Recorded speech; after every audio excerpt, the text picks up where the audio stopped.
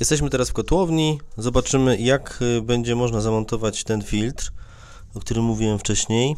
Tutaj mamy zamontowany zwykły filtr skośny, siatkowy. Jeden cal. Zaraz zobaczymy, co z niego wyleci. Mamy fajnie dwa zaworki przed filtrem i za filtrem, więc będzie w bardzo łatwy sposób można spuścić tą wodę mm, i zobaczyć, ile tam będzie niespodzianek. Zobaczymy.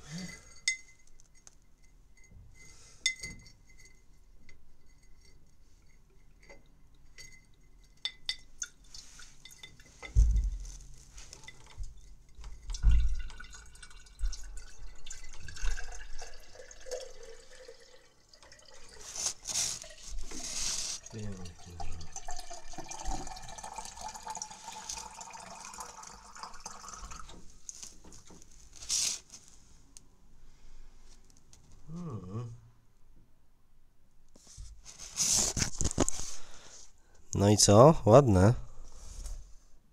To dopiero pierwszy. Zobaczymy dalej, co będzie lecieć.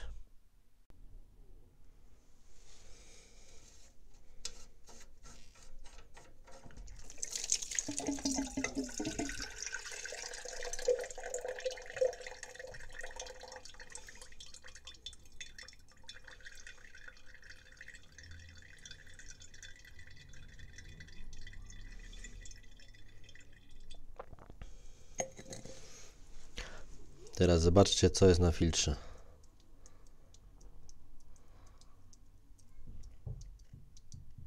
Piękne.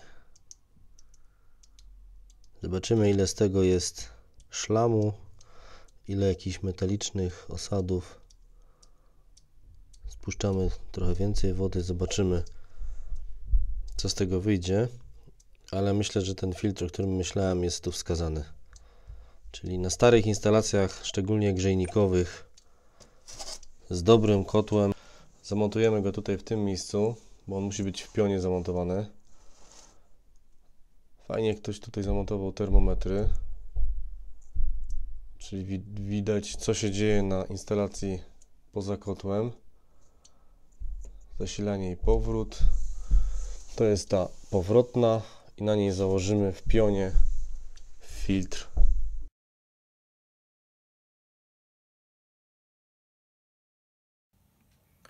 po jednym dniu od stania tego osadu mamy coś takiego w słoiku. No, powiem szczerze, że jestem zdziwiony, bo woda jest praktycznie przejrzysta, a na dole osad. I właśnie coś takiego robi się też w grzejnikach.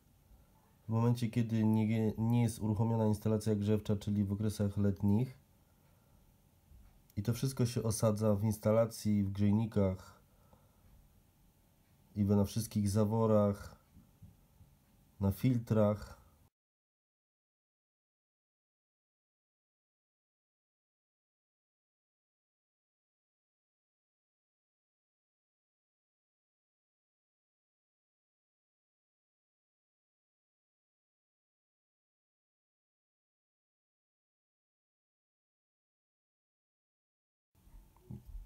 Zrobimy mały eksperyment z takim magnesem nałodymowym. Chcę zobaczyć, ile tego się tam poprzylepia. O, ja cię kręcę. Patrzcie.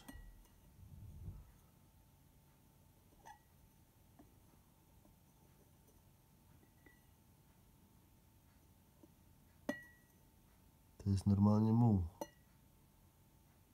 metaliczny z, z różnymi innymi rzeczami.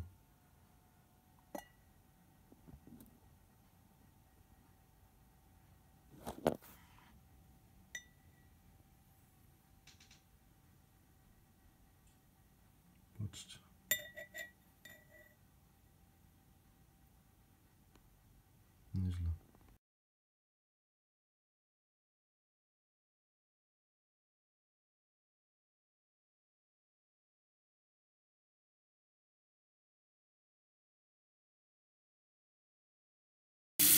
Za drugim razem złapał mi się bardzo ładny kawałek metalu. Z tego zobaczyć. Nie wiem, czy go widać tutaj na, na zdjęciu. Patrzcie. Chyba mi nie ucieknie.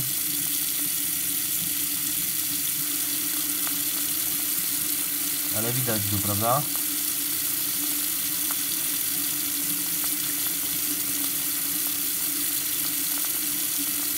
Zobaczcie, cały czas trzyma się magnesu.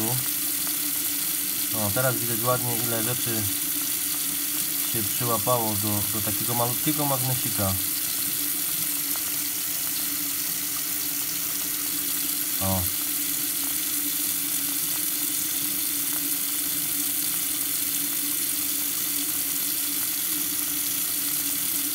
O, zobaczcie jaki kawałek metalu.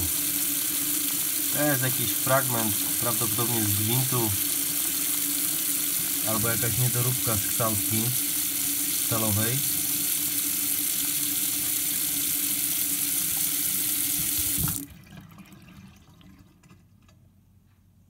I takie coś jak wejdzie nam w pompę obiegową albo w zawór trójdrogowy, w jakiś przełączający.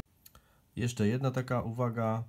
E, Próbowałem ten opiłek ściągnąć palcami z tego no, mm, magnesu neodymowego i y, słuchajcie, rozleciało mi się to w rękach. Rozleciało mi się to w rękach, to było tak delikatne i już y, skorodowane, że jeżeli by takie, taki paproszek wleciał właśnie do pompy, do wirnika pompy, to to naprawdę to robi, robi robotę i, i mamy y, większość urządzeń uszkodzonych po prostu.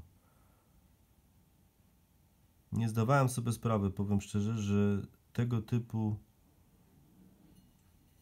śmieci, farfocle i inne rzeczy mogą się gromadzić w instalacjach. W nowych instalacjach może nie tak bardzo, ale przy okazji gdzieś będziemy to sprawdzać na nowych instalacjach, tam gdzie są ogrzewania niskotemperaturowe, czyli w zasadzie wszystko z plastiku i mosiąc. Jak to tam się zachowuje, czy takie, takie rzeczy też występują po spuszczeniu wody. I może zrobię jakiś osobny filmik na ten temat. W każdym razie podsumowując, póki co e, na starych instalacjach z grzejnikami, przy wymianie urządzeń na nowe, gdzie mamy nowe urządzenia mm, grzewcze, pompy obiegowe, zawory itd. Bezwzględnie montujcie. Bezwzględnie trzeba zamontować e, taki filtr e, z separatorem. No tam może oglądałem takie filtry z separatorem i one są właśnie zbudowanym takim dużym magnesem neodymowym. Na pewno, na pewno zrobi dobrą robotę. Wyczyściłem sobie teraz ten neomagnes, który mi pozbierał te wszystkie śmieci. I zobaczcie co się okazuje oprócz tego, że wypłukałem cały ten szlam to pozostało na magnesie pełno takich drobinek metalowych.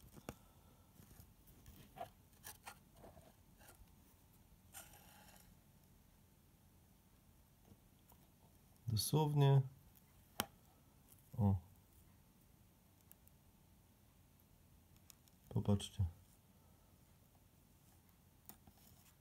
Więc ja już nie mam pytań bezwzględnie na starych instalacjach przy wymianie urządzenia na jakieś nowe, gdzie są nowe pompy, nowe podzespoły instalacyjne, bezwzględnie filtr z magnesem neodymowym. Mm, po zamontowaniu tutaj na tej instalacji zobaczymy e, jak to będzie wyglądać po kilku dniach, po tygodniu może i pokażę też jak to wygląda ale takim, y, taką metodą jak tutaj pokazałem na zwykłym magnesie neodymowym no ewidentnie widać, że że sam filtr siatkowy zwykły skośny nie da rady. Zobaczcie, jeszcze raz zobaczymy. Spróbuję to wsadzić tutaj. Już teraz woda jest mętna, nie za bardzo będzie widać, ale zobaczymy czy coś jeszcze się złapie. O, troszkę widać tak? Pomieszamy tutaj, pomieszamy, pomieszamy. Zamieszamy.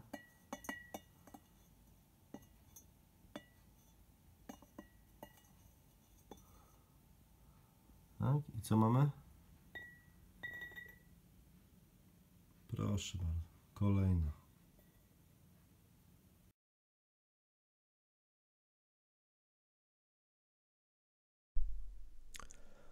Mamy już y, filtr y, z magnetyzerem.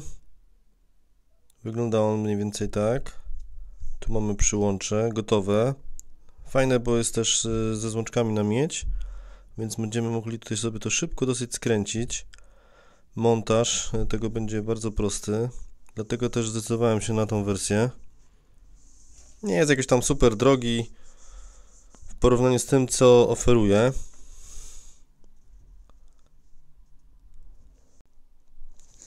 Tak wygląda w środku.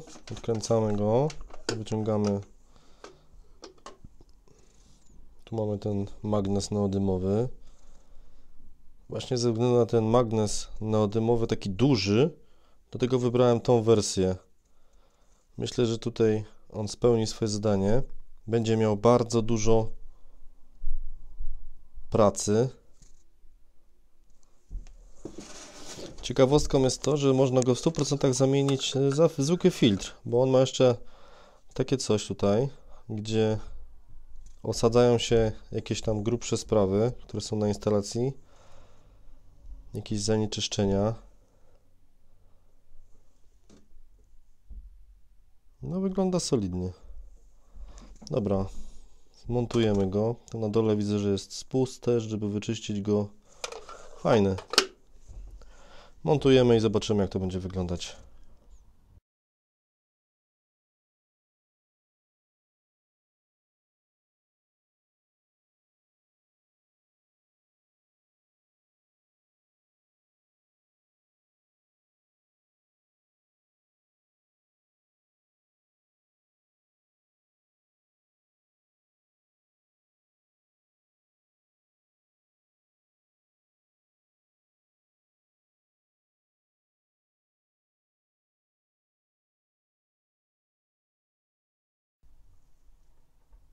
No i po zamontowaniu wygląda to mniej więcej tak. Udało się szybko z łączkami zaprasowanymi przerobić ten fragment. Więc żadnego lutowania. Zresztą nie przepadam za lutowaniem. I krótko powiem jak to wygląda. Zastanawiałem się po co tu jest ten taki jakby łącznik tych dwóch elementów elementów.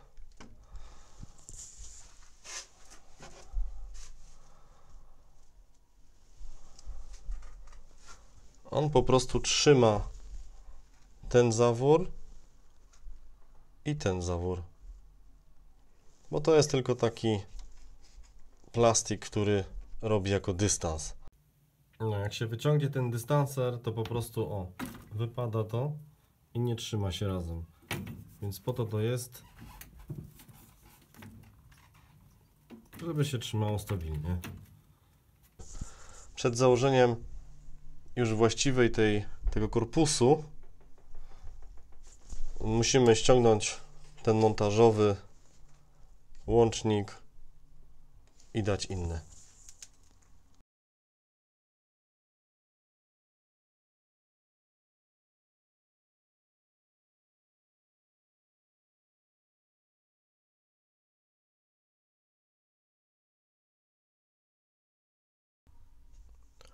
No i jesteśmy już po montażu. Wyszło bardzo fajnie. Szybki montaż. Powiem szczerze, że jestem e, bardzo pozytywnie zaskoczony. Na pewno ten duży wkład magnesowy, magnes neodymowy zrobi robotę na każdej starej instalacji, przede wszystkim z grzejnikami. Myślę, że na podłogówce nie ma znaczenia, czy to on będzie, czy nie. Dobrze jest dać, ale nie jest jakoś super wymagany. Myślę, że na grzejnikach e, spokojnie można powiedzieć, że bezwarunkowo dobra, dobra rzecz. Zwykły filtr po prostu będzie tylko zbierał cząsteczki, które się zatrzymają na sitku. Mniejsze cząsteczki tak czy siak przelecą, On będzie się dosyć szybko też zapychał przy tego typu yy, instalacjach. A tutaj cóż, zobaczymy. Dzisiaj yy, puszczamy ogrzewanie. Myślę, że yy, podjedziemy tutaj gdzieś może w przyszłym tygodniu, po kilku dniach, żeby tylko zobaczyć, mm, jak sobie ten filtr daje radę, w ogóle w jakim stanie jest ta instalacja w środku. Yy, pokażę też yy, ile zebrał lub też nie różnych śmieci. Na uwagę zasługują te zawory tutaj, bo to jest naprawdę bardzo fajna sprawa. Do czyszczenia myślę, że e, super rozwiązaniem te zaworki tutaj przekręcamy w ten sposób. To są takie oznaczenia Mm, on i off. Nie wiem, czy będzie widać. Nie widać.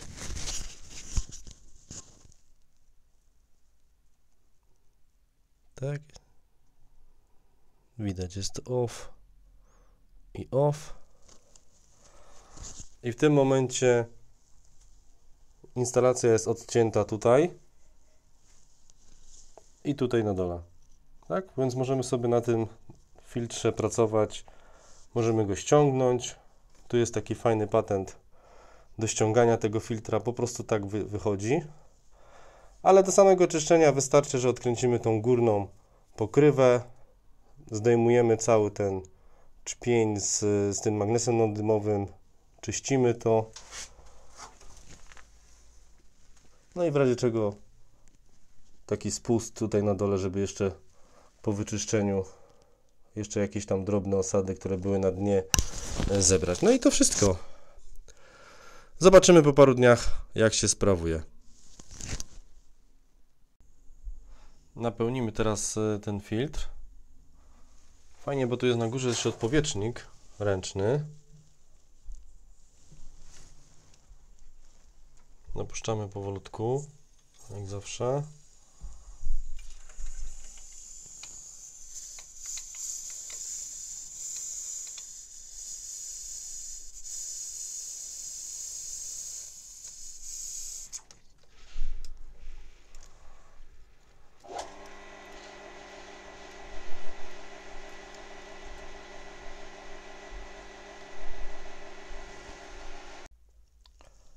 Dopuściłem jeszcze troszeczkę wody. I już zauważyłem jedną rzecz, że ten ręczny powietrznik, ok, dobrze, że w ogóle jest, ale niestety jakby był automatyczny, to by to lepiej było. Jak to woda się leje, muszę to podłożyć wiadro. No ale dobrze, że jest odpowietrznik. Dobra, i napuszczamy do instalacji. Ten drugi teraz zaworek otwieramy do góry i idę odpowietrzyć grzejniki.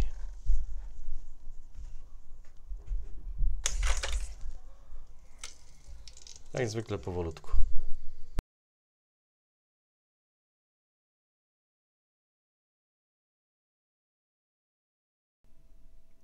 No i jesteśmy z powrotem. Minęło 4 dni dokładnie od zamontowania tego filtra.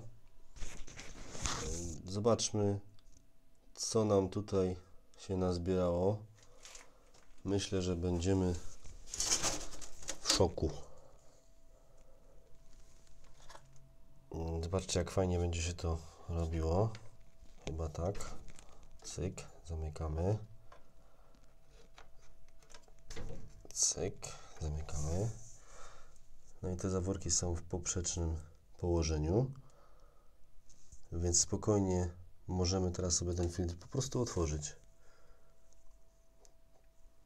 W końcu ktoś pomyślał, jak fajnie i szybko czyścić jakiś filtr. No to zobaczmy, co tu będzie ciekawego.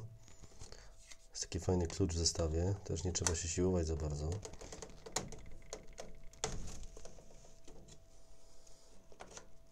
Tym kluczem można bez problemu to odkręcić. Ciekawe, czy pójdzie troszeczkę wody. Szmatkę mam tutaj na dole, ale chyba nie. Chyba nie.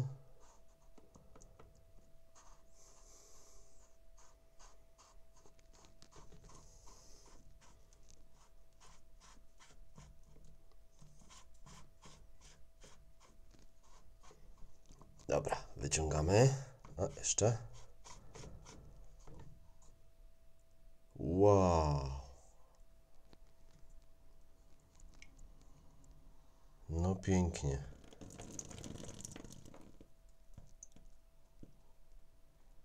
No, powiem szczerze.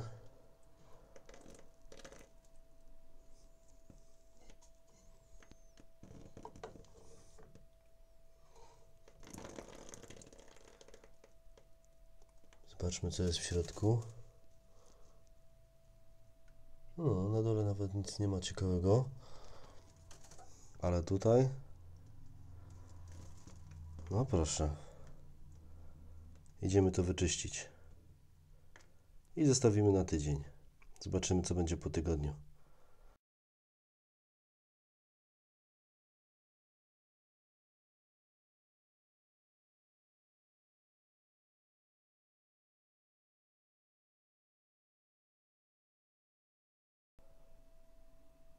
Dobra, filtr mamy wyczyszczony.